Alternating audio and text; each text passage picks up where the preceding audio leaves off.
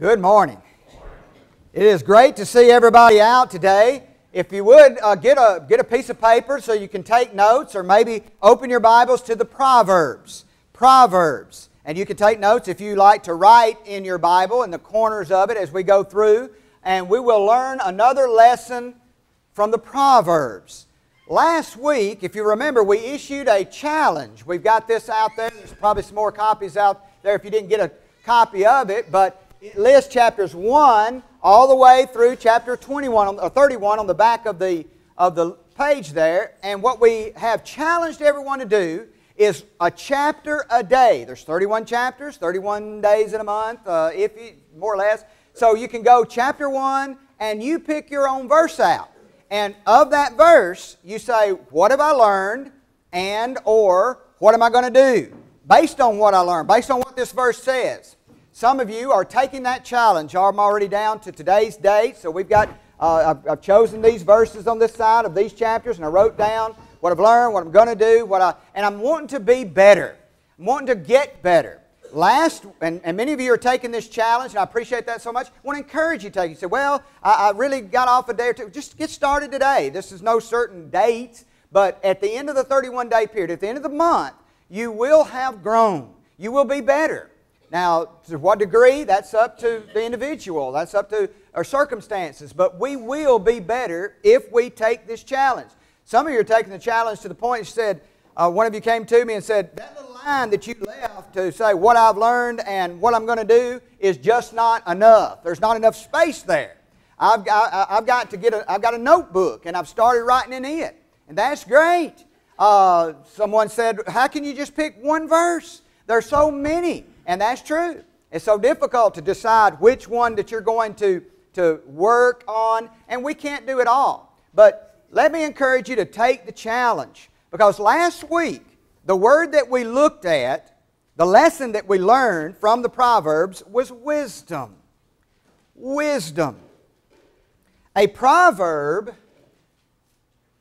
is, as we mentioned last week, a short, wise saying that effectively means it effectively does it, it, it makes an effect, effectively expresses a truth or a useful thought.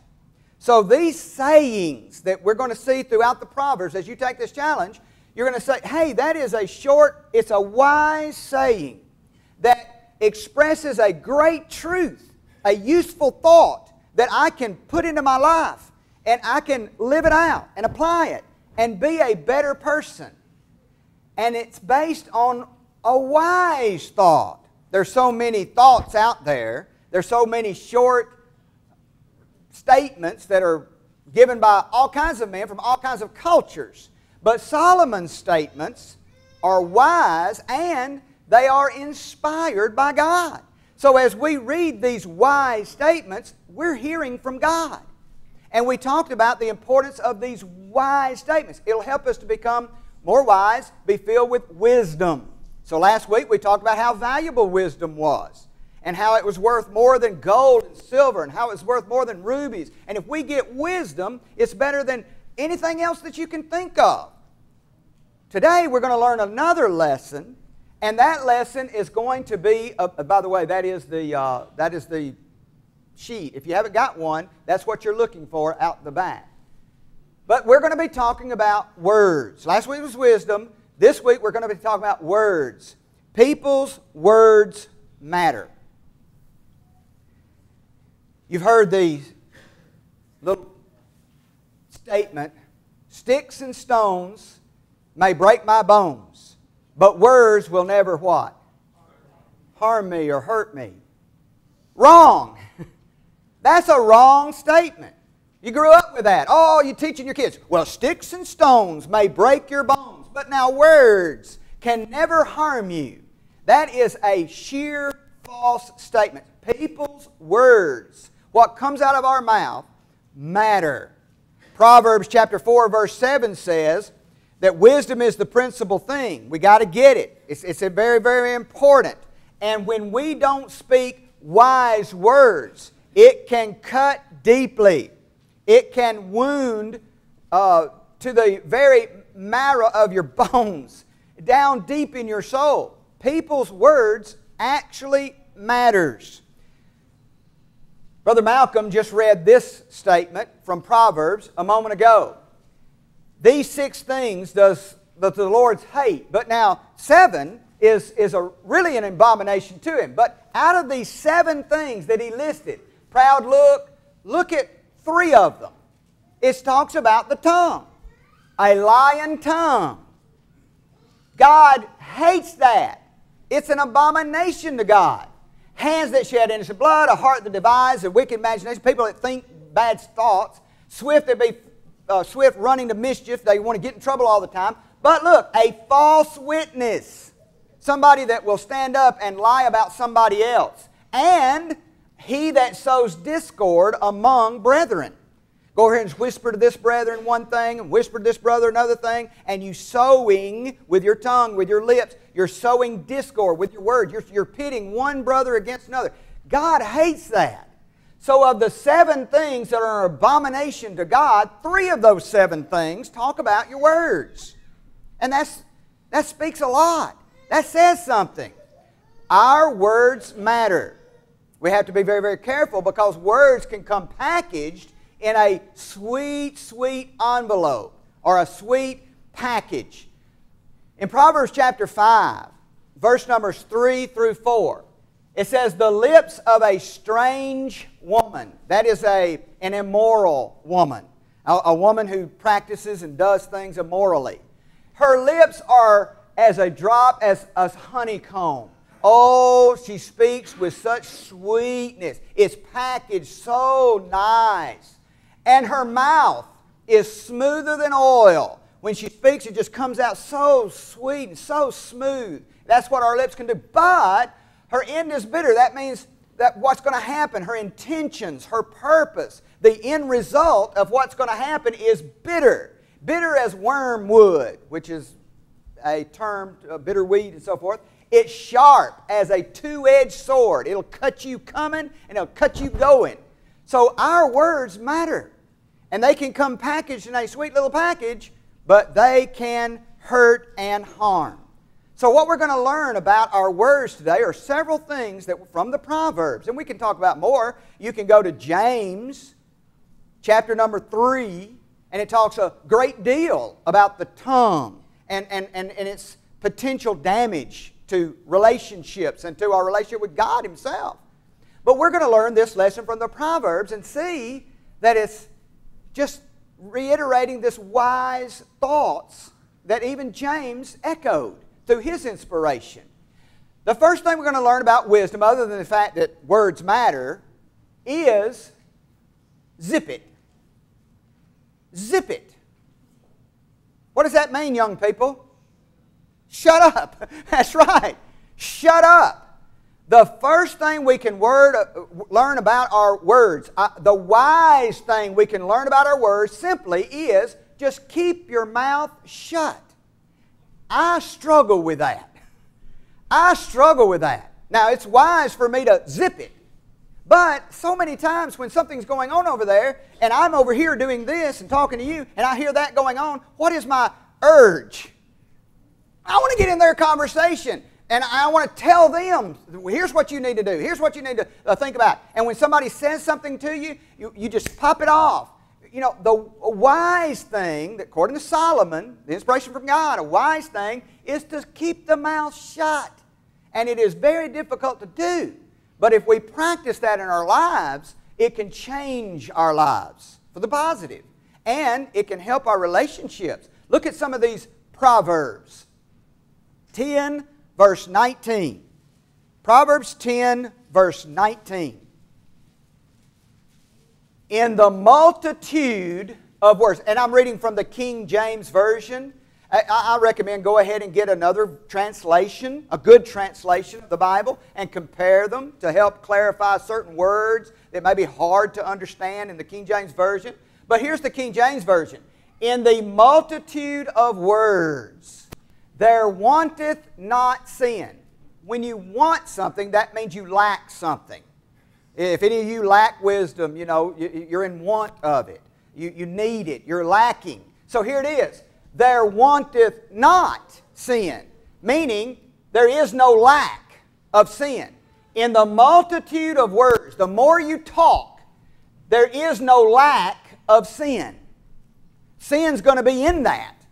But he that refraineth his lips, keeps his mouth shut, is wise. In other words, Solomon is saying the more you talk, the more likely it is that sin will come out. But if you refrain your lips, there's wisdom in that. Look at the next proverb. Chapter 13, verse 3 says, He that keepeth his mouth. And the word keep there means guard. You guard your mouth. You watch what comes out of your mouth. A person that guards his mouth actually guards his life. The way your life progresses is very much connected with what comes out of your mouth. So guard your mouth, you'll guard your whole life. He says, but, contrary to that, he that opens wide his lips, he means he just talks, he talks, he talks. The more that does that shall have destruction. You're more likely to live a hard life with lots of problems by talking a lot. Continue on in this vein of thought, this lesson about our words. 14 verse 33 says, Wisdom rests in the heart of him that under, hath understanding. In other words, it's inside you, it stays inside you. But, contrary to that, which is in the midst of fools is made known. In other words, a foolish man, if he's got it in his heart, if he's got it in his mind, if it's in his, if it just runs through his brain, it's going to come out of his mouth. He makes it known.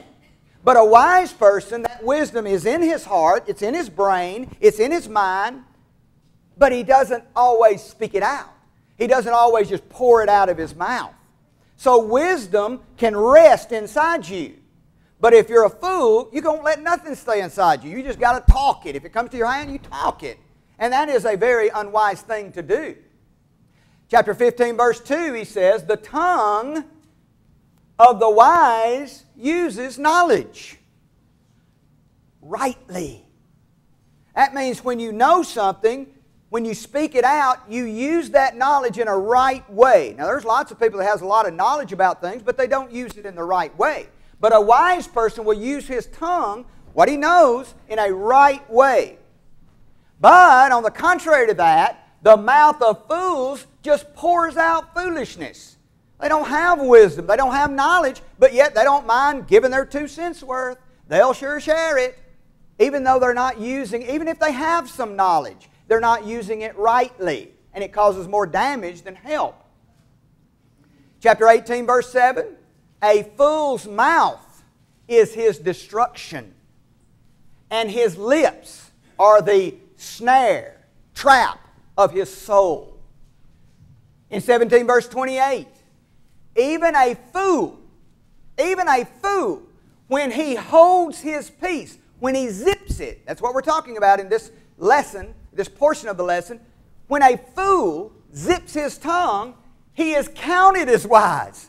People sitting over there saying, hey, he must be a pretty wise fellow. In fact, he's a fool. But he, he zipped it, so it appears that he's wise. He that shutteth his lips, he that zips it, is esteemed a man of understanding.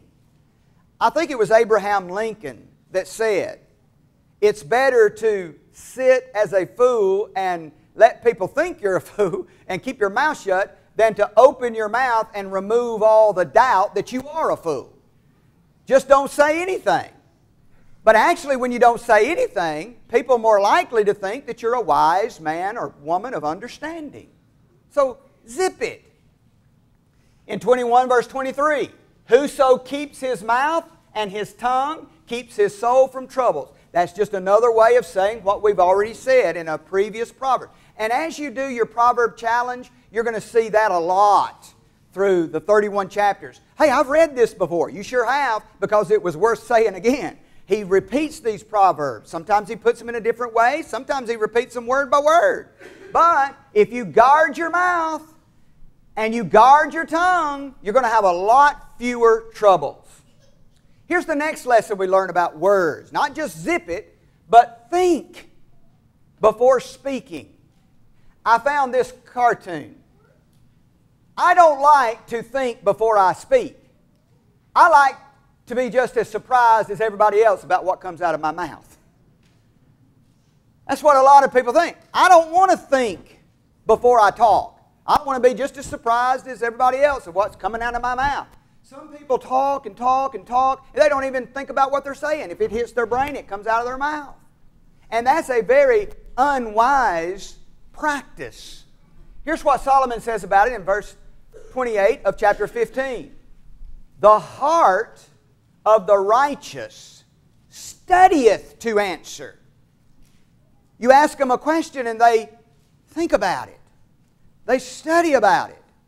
They want to move it around in their mind before they answer the question. But on the contrary, the mouth of the wicked just pours out evil things. They haven't thought about it. It just whatever pops in their head, it comes out of their mouth. And most of that, of course, is evil stuff because they're not wise to begin with.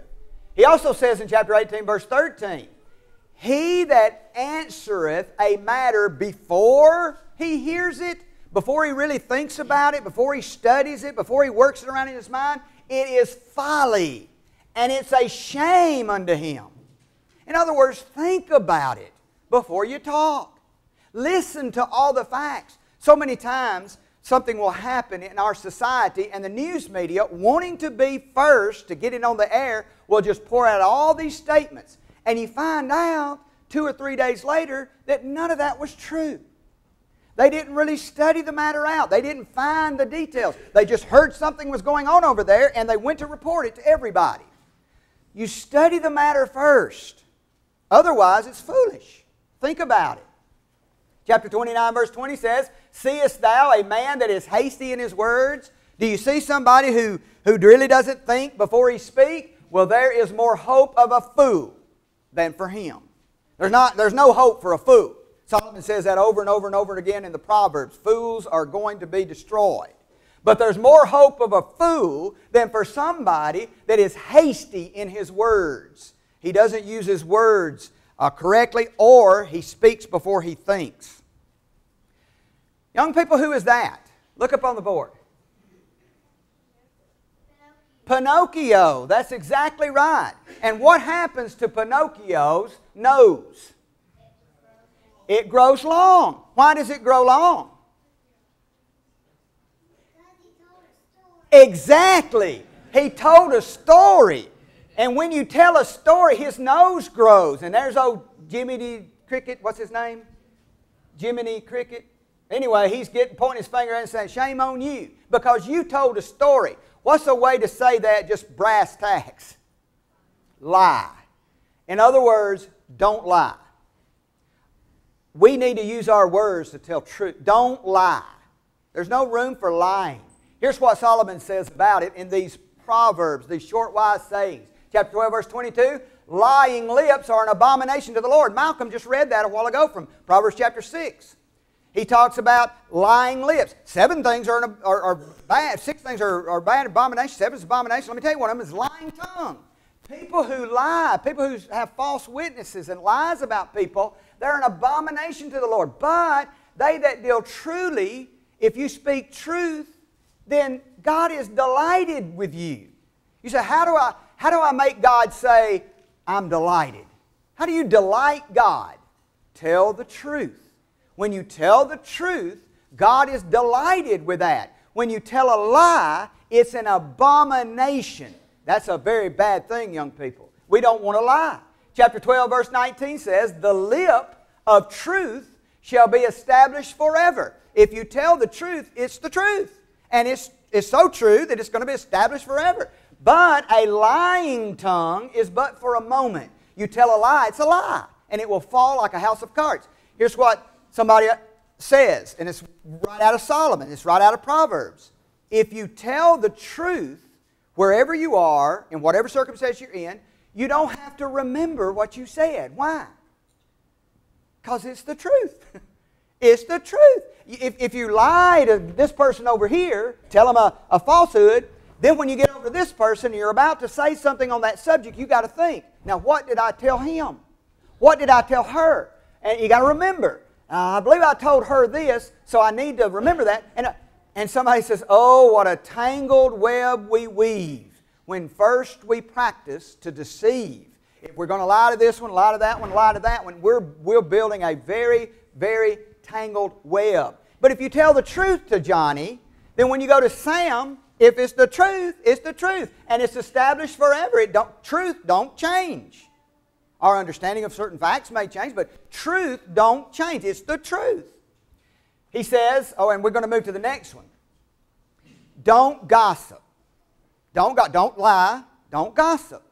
Here's a picture of two people talking behind her back, and she's hearing it. She knows they're gossiping about her. What's that look on her face say, class? Mad. Mad. Upset. Hurt. Look what the Proverbs says about that. Proverbs 18 8. The words of a tale bearer, a person who bears a tale or a story. They're telling a story. They're a tale bearer. Another word for that is gossip. They take gossip, the words of a gossiper are as wounds. Sticks and stones might break my bones, and words can never hurt me. Yes, they can. There are wounds, and they go down into the innermost parts of the belly, the King James Version says. That's into the very heart of hearts. Don't tell me that you've never been hurt by what somebody else has said. Because you have been. Because words do matter. Now, it's up to us to kind of, we can say, well, think of the source. Look who said it and all that. But it don't matter. The words were said, it went into your heart, it wounded you. So don't gossip. Proverbs 11, verse 13 says, A talebearer, a gossiper, reveals secrets. Somebody come and told you something, and you just can't wait to go tell somebody else. You just want to talk it out. But, on the contrary, he that is a faithful spirit conceals the matter. Folks, we all need to have somebody that we can talk to. We got to have a confidant. We got stuff on our hearts. We got stuff on our minds. And, and it may be our spouse that we can go to, maybe our best friend. And, and it's okay to go to these people and, and talk it out because it helps us to get it off our mind, get it off our chest, we would say. But you better be real careful who you choose to go talk to. Because a gossiper will do what? They'll tell it. They'll reveal that secret that you share. You needed to talk to them. You need to get it off your mind. And you go over and you talk to them and you get it off your chest, you get it off your mind, and they can't wait to go tell Susie, Bobby, and all of these other folks because they're real. But a person who has a faithful spirit, you can trust them. They'll conceal the matter. They'll keep it to themselves. So don't tell people secrets. Chapter 20, verse 19 says, He that goeth about as a gossiper reveals secrets. Therefore, here's the, here's the wise advice of Solomon meddle not with him that flatters with his lips. Somebody says, Oh, you can tell me. You're the, you know, you're, you're right in this matter. You can tell me all about it because you're the greatest thing in the world. Solomon says, Stay away from that fellow. Stay away from that fellow because when you tell that fellow a secret, he's going to run off and tell it. So stay away from the person who is a gossiper. It's not good. Proverbs 25, verse 9 says, Debate thy cause with thy neighbor himself. If you got a problem with somebody in your circle of friends or your neighbor or your class or wherever, your workplace, then you go straight to your neighbor himself and discover not a secret to another. Don't run off to somebody else and say, Let me tell you what Joe says. Let me tell you what Joe believes. No, no. If you got an issue with Joe, who do you go to, class? Joe. Go to Joe and say, Joe, uh, this is an issue. This is, a, this is a secret. This is something I want to talk to you about. I want to discuss the issue with you. I'm not going to discuss the issue with Sam. That's tale bearing. That's gossiping. 26, 20 and 22 says, Where no wood is, if you don't have any wood, the fire goes out. If you feed gossiping, it just spreads through the community. But if there's no wood, there's no fire. So, where there is no gossiper, the strife ceases. It stops. As coals are to burning coals, you got a hot coal, you stick another coal to it, it, it flames up too. And wood to fire, so is a contentious man to kindle strife. He loves it. He, he, he's seeking a place to go gossip and talebear and stir up the flames. The words of a talebearer are as wounds, he repeats this, and they go down into the innermost parts of the belly. Solomon wanted to repeat that. You can cause a lot of trouble by gossiping. Here's a fellow that loves to brag. Don't brag. Don't gossip, but don't brag. Proverbs 25 14 says, Whoever boasts himself, young people, boast means to brag. Whoever brags himself of a false gift. Oh, I can do this and I can do that, but they can't do anything. But they'll sure tell you about it. I know people that will walk into your conversation and you've been talking about maybe you're building a car or building a shed or building a house, and this person walks in, and the first thing they want to do is tell you how they can do what? Build it better. Let me tell you what I can do. Now, they may never have hammered a nail in their life, or if they did, it bent when they did it. Point is, they boasted and they're bragging themselves a false gift. Well, they're nothing more than a cloud and wind without any rain. There's no substance to them. Don't boast. Don't brag. 20 verse 14 says, It is not, it is not, saith the buyer. But when he has gone his way, then he boasts. In other words, I'm going to buy something from Daniel here, and Daniel, I'm fixing to, uh, to buy this from you, and you're going to sell it to me. And it's that psalm book. What do you want to it? Five dollars? Five? No, no, no. That's no. You're cheating me. You cheating me. Five dollars? Oh, okay. I'll go ahead and give you five dollars. Oh, it's nothing. It's nothing. Oh, you're, you're beating me. You're beating me. And I take the book and I said, Look here, everybody. I got this book for five bucks. It's worth fifty. he didn't know that, but it's worth fifty. A person who says, It's nothing, it's nothing, says the buyer. But when he goes off, he brags and he brags. Look what I've done. I cheated him out of something. Folks, that's a person who boasts and brags of their, of their abilities and what they've done to other people. Proverbs 27 2 Let another man praise thee, not thine own mouth, a stranger, not thine own lips. Don't brag on yourself. Let the community brag on you. Let your friends brag on you. Let other people brag on you if there's going to be any bragging to do. Never brag or on yourself. And then be sincere. A lot of people will shout out to the rooftop this, that, and the other, but they have no more sincerity about it than anything.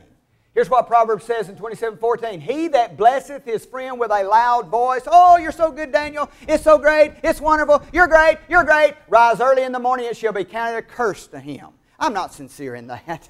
I just made that up. I'm just bragging and bragging and bragging. Don't say anything unless you sincerely mean it. And you can always find something good to say about anybody. I want to say that. Somebody said, uh, uh, Can you find something good to say about the devil? Can you find something good to say about the devil? And the fellow says, Well, he don't give up. That's good. So you can find something good to say about anybody. But always be sincere when you say something. Proverbs 26 18 says, As a madman who casts firebrands, arrows, and death, a crazy guy who's shooting folks, so is the man that deceives his neighbor and then he turns around and says, Am I not in sport? oh, I was just joking, Daniel. You know, I just deceived you, but I was just joking. You understand that? I was just joking. Don't do it. Be sincere. If you say something to somebody and, and it hurts their feelings deeply, and then you walk, oh, don't let that bother you. I was in sport. I was just joking. No, you weren't. Be sincere with your words. Proverbs 28 23 says, He that rebukes a man afterwards shall find more favor than he that flattereth with his tongue. It's better to you to come to me and tell me, David, you need to wear a different tie with that suit. You really do. That just don't go good. I'll appreciate you more than if you walk up to me and says, "Oh, that tie looks so great with that suit. You ought to wear it." And then when I go out and wear it someplace else, it's a, it's a mess. I would rather you come to me and, and share with me some truth than to flatter me with my tongue and let me go on about my life in a bad situation. Finally, be kind. Be kind. Proverbs 25 11. Proverbs 25 11. He says, A word fitly spoken. It's, it's, it's spoken in the right way, at the right time, with the right sincerity. It's like apples of gold in a picture of silver. The background is silver, the apples is gold. That's beautiful. And that's what a word fitly spoken is like. Proverbs 15:1 says, "A soft answer turns away wrath, but grievous words, angry words." We just sang that song a little bit. Oh, angry words, oh let them never from your tongue unbridled slip because you can destroy relationships. You can destroy your relationship with God. Grievous words will stir up anger. You can make a fellow so mad. I think I've told you this story before. But I was managing ShopRite. I was the manager for the, for the grocery store. A fellow busted in the door, and I was in a little cubicle counting down the drawer, and he busted in. Where's the manager? And I put all the money under the desk. You know, I didn't know what he wanted. And she said, Well, he's right up there. Thanks. You threw me under the bus.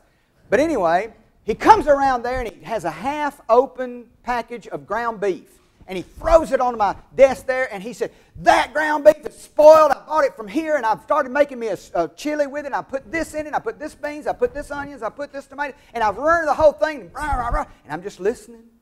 And he gets it all out, and he's ready for bear, and he's fixing to get me. And I look at him, and I said, I am so sorry. Tell me a list of everything that you bought, and we will go through the store and just re- replace every bit of that. And we'll go shopping for it. And he said, all the wind come out of his sails. He had nothing more to say. We got a grocery and we cart and we, we went shopping together. And I think he got some stuff that he really didn't put in that chili.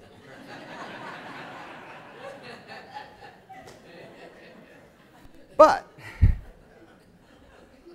I didn't want to stir up no more anger. Proverbs 16 24, pleasant words, pleasant words are as honeycomb, sweet to the soul, health to the bones. 3126. And you ladies, chapter 31, virtuous woman is in that chapter. She openeth her mouth with wisdom. We talked about that last week. And her tongue is the law of kindness. We're learning lessons from Proverbs. Wisdom, words, they matter. Acts chapter 11, verse 14 says this Peter was called by God to go to the household of a man named Cornelius. Cornelius was a Gentile. And he wanted to know what to do to be saved. And he was a good man. He prayed to God, he gave gifts to, to poor people. He was a good guy and he wanted to know what to do to be saved. He wasn't saved by his goodness, he wasn't saved by his generosity. Here's what God told Cornelius He says, Call Peter. He's, in, he's living in Joppa. And you go and send to a guy, named, a guy named Peter in Joppa, and you bring him to you. And here's what verse 14 says Who shall tell thee words whereby thou and all thy house, your whole family, shall be saved. Cornelius wisely listened to God. He sent for Peter. Peter came back and told him words.